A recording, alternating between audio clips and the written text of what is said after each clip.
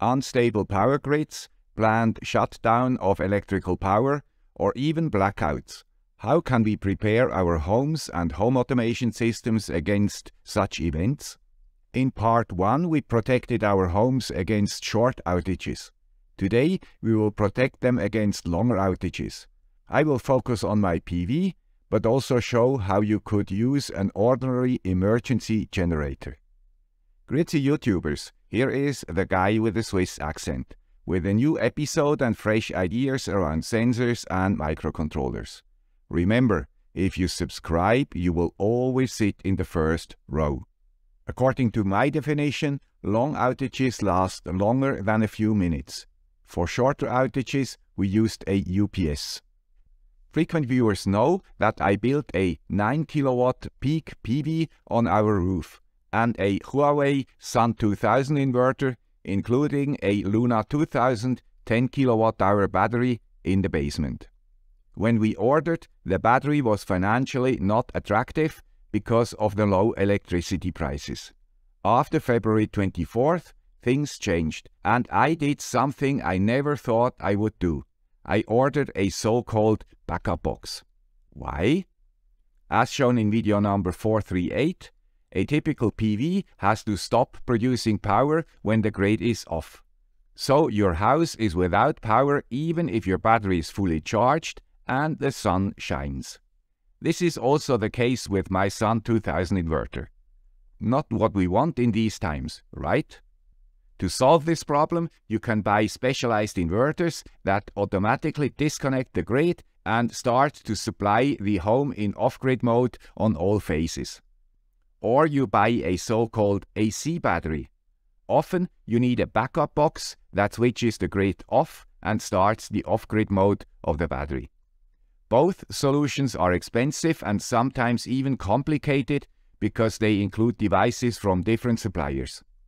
If you watched my last video, you know that I hate complicatedness.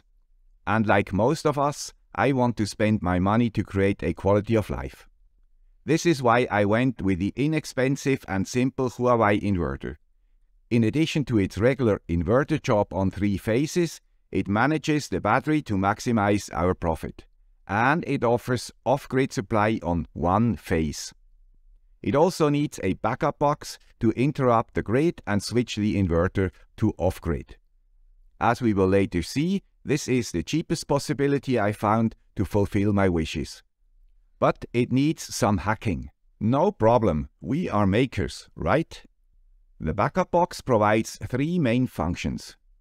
As soon as the grid is off, it interrupts the connection from the grid to the inverter. The inverter automatically switches off because it senses no grid. The backup box has two breakers in series to be sure. This is what utility companies want. As soon as this interruption is confirmed, it starts the inverter in off-grid mode.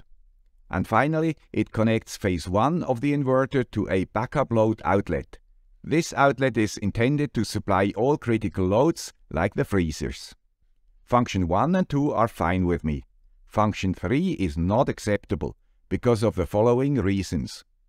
One freezer is built in in the kitchen. I would have to run a cable to the backup load outlet in the basement.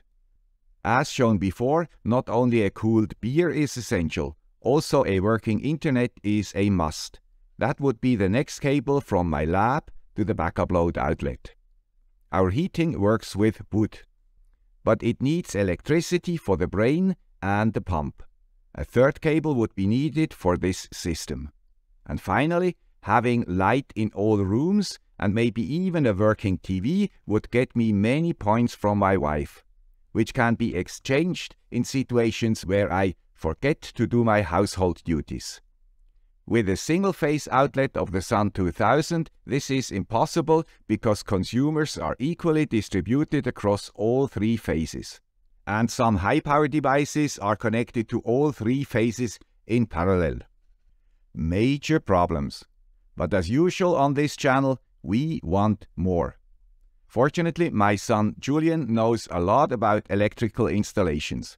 When we sat together, he proposed a simple solution During off-grid operation, we short-circuit phases 2 and 3 to phase 1. Sounds like a horrible idea, right? Let me explain why it could work. Most of the loads are only connected to one phase and ground. They do not care about which phase they are connected to. Only our stove and the oven are connected to all three phases. Is this a problem?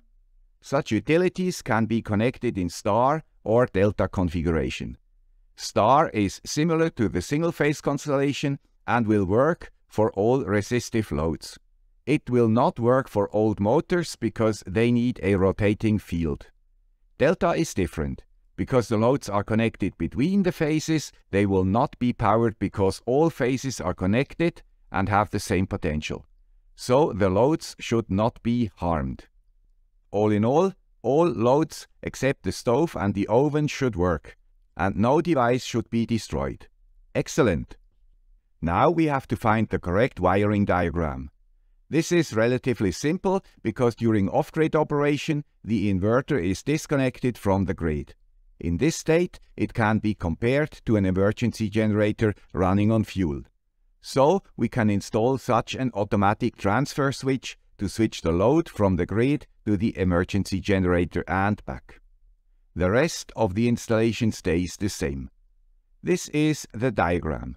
The transfer switch is connected to the load, the grid and the backup power outlet. Phase 1 of the backup power outlet is connected to all three phases of the transfer switch. We could manually switch the load from the grid to the backup power outlet. But we want more. For an automatic failover, we connect source A to phase 1 of the grid and source B to the backup load outlet. Position 1 is chosen if source A or both sources are powered. Here, the load is powered by the grid. Only if the grid is off and the inverter supplies backup power, it switches to position B, where the house gets the energy from the backup load outlet. Exactly as planned. The installation of the backup box was done by professionals because do-it-yourself is not allowed in fuse boxes. Because it was already late, the electricians went away before the test. So it is up to me. Here I can switch the grid entirely off. What do you think will happen? Did we consider everything? Is the wiring correct? I'm pretty confident with low voltages, but here I'm nervous. Also because I know that we will not get a new inverter for a long time if I destroy it. But there is no other possibility. I have to take responsibility. Now I try to switch off the house power which is coming down from the top here.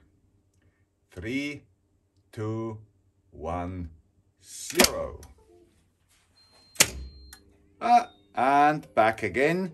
I have now emergency power. What happened? I disconnected the grid with a switch. All lights went off because the house had no power, except the devices powered by the UPS, of course. Immediately afterward, the backup box insulated the inverter and sent its off-grid start signal. The yellow LEDs started to blink while it powered on. The backup power outlet got power and with it, source B. Now the automatic transfer switch disconnected the load from the grid and connected it to the backup load outlet. The lights went on and the entire house had power again. The stove and the oven survived and the Eaton UPS protected the network and the PC during this short time. Cool. So the battery backup works. But what about the solar panels? As we see here, they still worked and supplied the home. And other than Huawei communicates, the battery is charged with the excess power from the roof. How cool is that? Compare it with other solutions offered to you. You know now what questions you have to ask. And what is the price of the inverter, the battery and the backup box? A total of 6,000 Swiss francs or $6,500 or euros. Of course, this does not include the smaller parts and the work. Not bad, I think. Keep in mind, I live in Switzerland where everything is expensive. The UPS was less than 150, by the way. This project was not simple because it involved unknowns and some head scratching. To protect my network and the PC against short outages, I installed the UPS. For the long-time backup using my PV and its battery, I had to buy a backup box and hire professionals to mount it between the fuse box and the inverter. The Sun 2000 inverter is only capable of providing power to one phase and the backup box only offers an independent backup load outlet. This is not what I wanted. I wanted to power as much of the house as possible. With the help of my son, we found a simple solution. A transfer switch switches the load between the grid and the backup box. By connecting all three phases to the backup load outlet, we can get most of the consumers in our house powered from the inverter. Only the oven and the stove do not work because they use three phases. But they are also not harmed. And I purchased a small gas cooker for emergencies. The Sun 2000 inverter can deliver up to 3.3 kilovolt ampere in off-grid mode. The house without cooking and washing consumes less than 2 kilowatt. So plenty of power. As the cherry on top of the cake, the Sun 2000 inverter uses the available sun to power the home and even charges the battery while in off-grid mode. More than Huawei promised. For a price of $6,500 for the parts alone. I'm happy with my solution. And now, after my prototype is running, my neighbor will get the same. One last thing. The Shelly sensors got a new place. Here they measure only the power going to the consumers. If you remember, the inverter has no way to measure this value and has to calculate it. These calculations sometimes contain artificial peaks. With the new position of the Shelly current transformers, these peaks are gone. This was all for today. As always, you find the relevant links in the description. I hope this video was useful or at least interesting for you. If true, please consider supporting the channel to secure its future existence. Thank you. Bye.